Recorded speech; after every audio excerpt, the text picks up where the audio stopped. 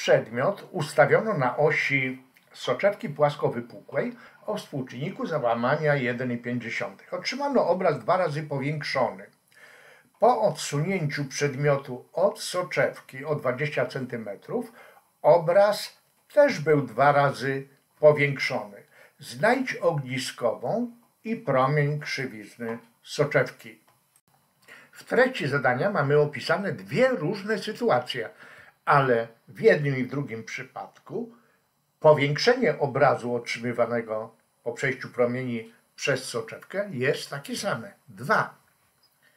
Przypomnijmy sobie, jak znajdujemy obrazy y, w soczewce skupiającej. Pierwsza sytuacja, kiedy przedmiot ten koloru niebieskiego jest ustawiony w odległości zielonej soczewki w odległości 2F, gdzie od soczewki do F jest jedna ogniskowa, potem do punktu O są dwie ogniskowe. I co mamy? Otrzymujemy obraz rzeczywisty, odwrócony, ale pomniejszony. Ta sytuacja nas nie dotyczy. Druga sytuacja ma miejsce wtedy, kiedy przedmiot ustawiono między F w odległości większej niż F od soczewki, a mniejszej niż 2F tu. I otrzymujemy obraz rzeczywisty, odwrócony i powiększony. Ta sytuacja nas interesuje. No i trzecia możliwość, możliwość jeszcze. Przedmiot ten niebieski znajduje się między ogniskową a soczewką. I zobaczmy, co się dzieje. Otrzymujemy obraz pozorny, ale powiększony. Ta sytuacja będzie również nas interesować. Teraz będę chciał zwrócić Waszą uwagę na stosowanie wzorów, jeśli chodzi o optykę geometryczną. Opiera się ona na podstawowym równaniu, które jest równaniem zwierciadła kulistego i soczewki o powierzchniach kulistych. Zwróć uwagę, że nie mówię, iż dotyczy to, to równanie zwierciadła kulistego wypukłego czy wklęsłego, obu, tak samo i soczewki, zarówno skupiającej, jak i rozpraszającej dotyczy to równanie. I mamy definicję powiększenia. Fizycy definiują to jako stosunek odległości obrazu od zwierciadła albo obrazu od soczewki do odległości przedmiotu od mm, zwierciadła albo od soczewki. Patrząc na definicję powiększenia, zwróćmy od razu uwagę, że w pierwszym przypadku to powiększenie będzie dodatnie, ale mniejsze od jedności, bo obraz jest pomniejszony. W drugim przypadku powiększenie będzie większe od jedności, bo obraz jest powiększony. A w trzecim przypadku przyjrzyj się, powiększenie będzie mniejsze niż minus 1. Dlaczego? Bo y jest ujemne i zwróć uwagę na to, że y jest większe, zawsze większe od x. Często możecie spotkać, e, że autorzy rozwiązań zadań mówią, powiększenie jest to wartość względna y do x. To nie jest definicja fizyków, to jest definicja nauczyciela, tego, który chce Ciebie szybko nauczyć rozwiązywania zadań. Ale uważaj, bo tu pojawia się pułapka. Jeśli weźmiesz powiększenie w tym trzecim przypadku jako wartość dodatnią, a jeszcze w równaniu, wiedząc, że y jest ujemne, wpiszesz minus i zaczniesz się bawić rozwiązywaniem tych równań, bardzo często z doświadczenia wiem, pojawia się sytuacja, w której dwa razy minus jest uwzględniany.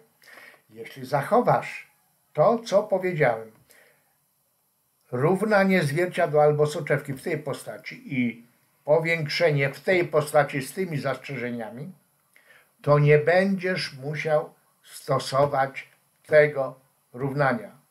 Stosuj tylko te dwa. I pamiętaj, że y może być dodatnie albo ujemne, ale nie zmieniasz postaci równania opisującego powstawanie obrazu w soczewce czy y, w zwierciadle, tylko ten minus wyjdzie ci, gdy będziesz podstawiać dane. Zgodnie z tym, co przed chwilą powiedziałem, przystępujemy do wypisania danych. Zwróć uwagę, no współczynnik e, załamania soczewki 1,5 bez dyskusji. Powiększenie dawane w pierwszym przypadku 2 z minusem. To jest ten przypadek trzeci.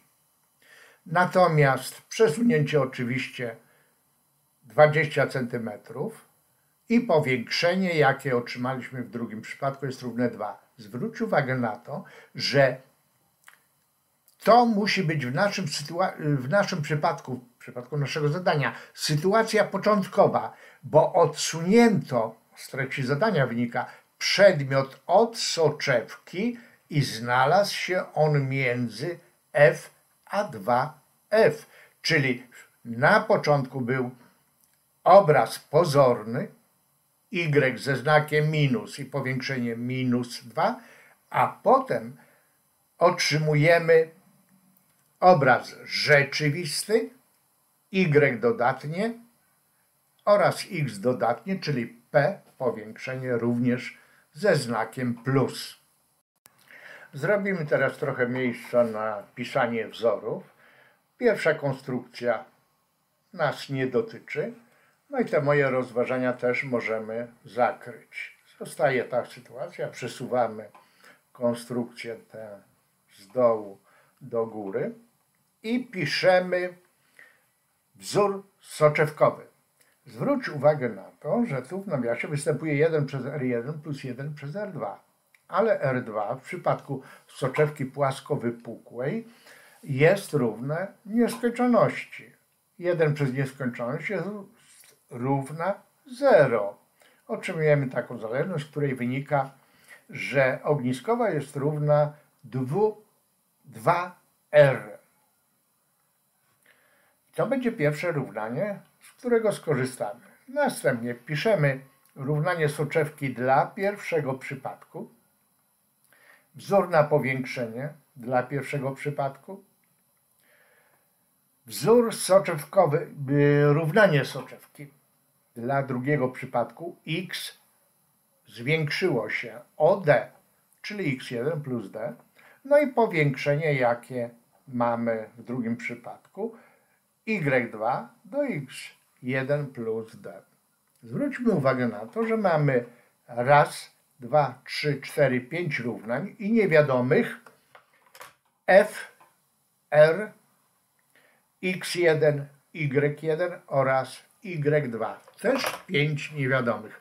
Układ tych równań trzeba rozwiązać, aby do, dotrzeć do odpowiedzi na pytanie, jaka jest wartość ogniskowej i jaka jest wartość promienia krzywizny jednej z powierzchni soczewki płasko-wypukłej. Mając pięć równań i pięć niewiadomych, po kolei trzeba kolejne niewiadome eliminować, aż pozostaniemy przy tych, o które nam chodzi. Oczywiście rozwiązanie takiego układu równań każdy może przeprowadzić w sposób indywidualny. Ja to zrobiłem w sposób następujący. Tu wyznaczam y1, wstawiam je do pierwszego równania. Mam taką zależność. To samo robię z drugą parą wzorów. Wyznaczam y2, wstawiam do równania y, soczewki. No i tutaj trochę trzeba pokombinować. Przekształceń jest sporo, ale otrzymuję taką zależność.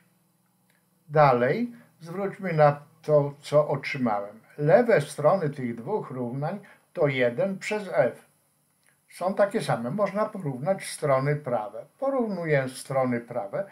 Widać, że dwójki nam się uproszczą, występują z obu stron. Jest to proporcja, mnożę wyrazy skrajne przez siebie, otrzymując taką zależność, z której wyznaczam x1. Jeśli mamy x1, to idziemy tu i znajdujemy, że 1 przez f równa się 1 na 20. No to f z tego wynika jest równe 20 cm. A następnie patrzymy na to pierwsze równanie, wyznaczamy R, że to jest połowa F, czyli 10 cm. Odpowiedź na zapytanie postawione w zadaniu jest więc następująca. Ogniskowa 20 cm, a promień krzywizny powierzchni wypukłej soczewki płasko wypukłej jest równy 10 cm.